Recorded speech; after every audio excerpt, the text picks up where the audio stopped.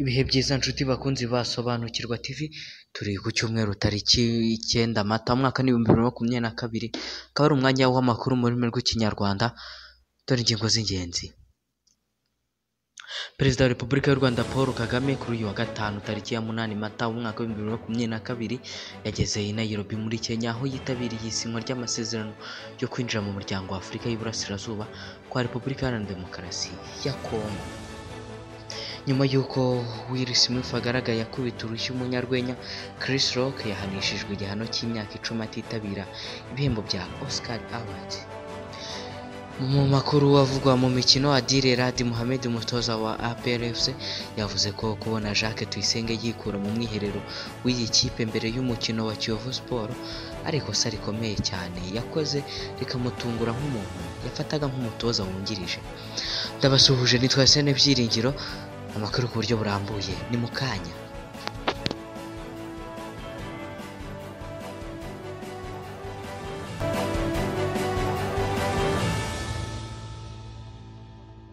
Ikaze mu makuru yacu ku buryo burambuye. Perezida wa repubulika y'u rwanda paul kagame kuri uyu wa gatanu tariki ya munani mata yageze i nairobi muri kenya aho yitabiriye isinywa ry'amasezerano yo kwinjira mu muryango wa afurika y'iburasirazuba kwa repubulika iharanira demokarasi ya kongo perezida kagame akigera muri kenya yakiriwe na muri perezidansi y'icyo gihugu na mugenzi we uhuru kenyatta.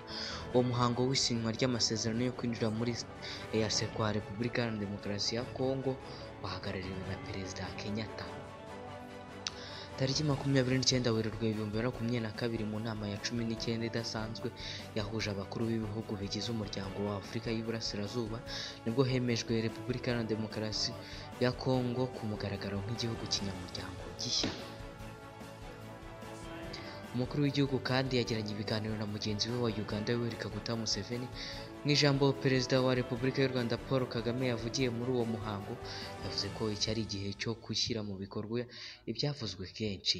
Yagize ati twakoze disikuru nyinshi mu bihe byashize tugomba rero kwicara kugira ngo dukore akazi gakubiye mu magambo twabwiye abaturage bacu.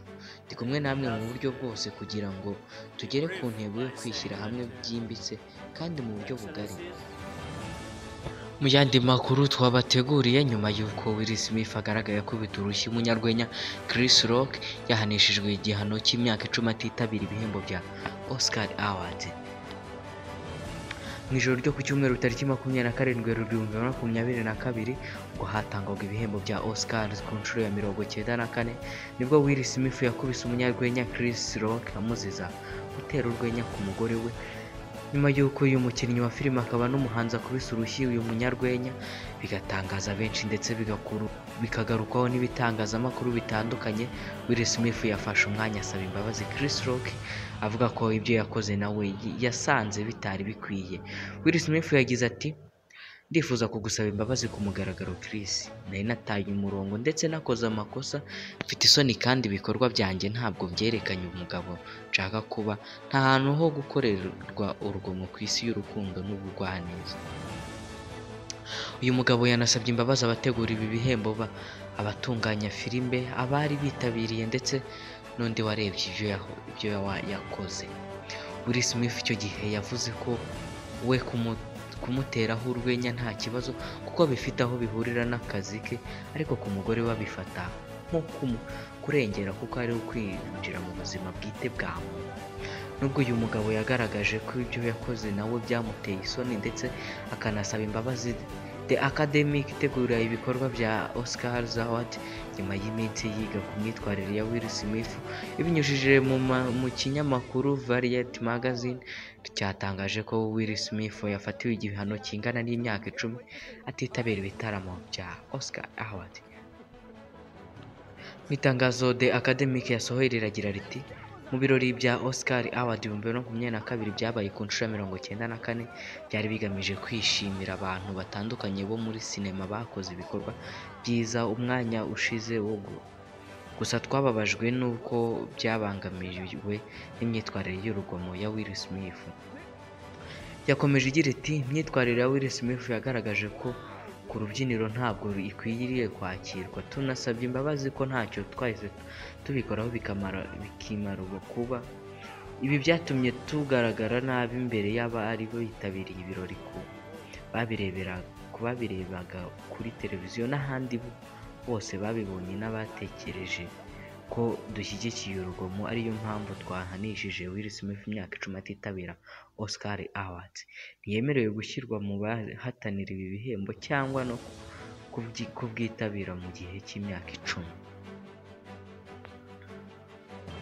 Mu makuru avugwa mu mikino Adil Radi Mohamed umutoza wa APR FC yavuze ko kubona Jacques Tuyisenge yikura mu mwiherero w'iyi kipe mbere y'umukino wa Kiyovu Sport ari ikosa rikomeye yakoze rikamutungura nk'umuntu yafataga nk'umutoza wungirije we. Adil agaruka ku kibazo cya Jacques Tuyisenge umutoza wa APR FC nyuma yo gutsindwa yo gutsinda amagaju igitego kimwe ku busa mu gikombe cy'amahoro. Adil yavuze ko uyu mukinnyi yakoze amakosa atajyanye n'urwego rwe. Ati Jacques ni kapiteni w'iki kipe yavuye mu mwiherero mbere y'umukino wa Kiyovu Sport. Njyewe Jacques namufataga nk'umutoza wungirije nka kapiteni ugomba kumfasha abakinnyi bakiri bato. Nk'umuntu ugomba kuba intangarugero ugomba kubaha igihe ntahari imyitwarire ye mbere y'umukino wa Mukura Victory Sport ntabwo ikwiye kapiteni kuri jye mbifata nk'ikosa rikomeye nk'umukinnyi w'umunyamwuga wo ku rwego amakuru yamenyekanye ni uko uyu rutahizamu atishimiye uburyo umutoza mukuru w'iyi kipe ukomoka muri Maroc Adil Radi Mohamed ababwiramo cyane cyane abataha. Abataha izamu ababwira nabi avuga ko badatsinda ibitego. Ni kenshi uyu mutoza yagiye yumvikana mu bitangazamakuru anenga ba rutahizamu be ko ikipe irimo uburyo bwinshi ariko ba rutahizamu be ntibatsinde.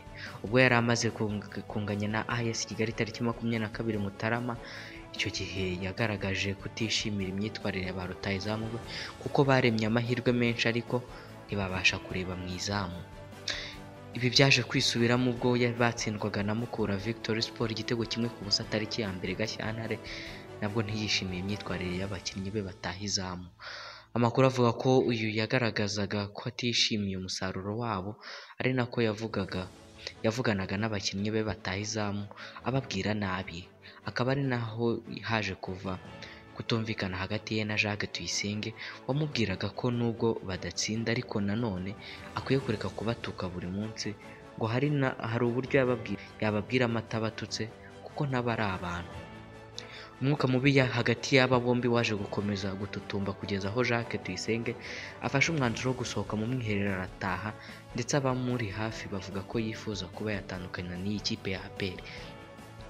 Jacques Tuyisenge yinjiye muri APR FC muri Nzeri ibihumbi bibiri na makumyabiri na kabiri akaba yarasinye iyi kipe imyaka ibiri ubu akaba ari mu mwaka we wa nyuma nubwo mu bigaragara atagaragaje umusaruro kuri iyi kipe nk'uwo yari ategerejweho. Nshuti bakunzi basobanukirwa TV tugeze ku musozo w'amakuru twari twabateguriye ariko ntabwo nasohoka muri studio ntabibukije zimwe mu ngingo z'ingenzi twubakiyeho.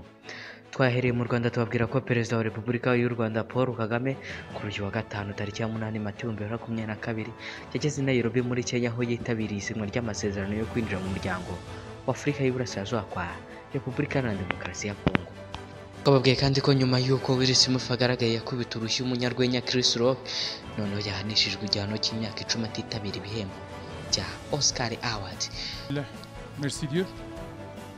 Merci Dieu. Voilà. Mu mikino twababwiye ko Adil Radi Mohamed umutoza wa APR FC yavuze ko kubona Jacques Tuyisenge yikura mu mwiherero w'iyi kipe mbere y'umukino wa Kiyovu Sport ari ikosa rikomeye cyane yakoze bikamutungura nk'umuntu yafataga nk'umutoza wungirije we. Nshuti bakunzi basobanukirwa TV uyu ni wo musozo w'amakuru twari twabateguriye. Gusa nta kwibutsa kujya ukora like share na comment ndetse ugakora na subscribe kuri channel yacu kugira ngo ujye ukomeza kubona amakuru tubagezaho. Hagati aho nasoza mbifuriza gukomeza kwibuka twiyubaka twirinda ko ibyabaye mu Rwanda bitazongera kubaho ukundi. Njye wabateguriye amakuru nkanayabagezaho nitwa Hasene Byiringiro.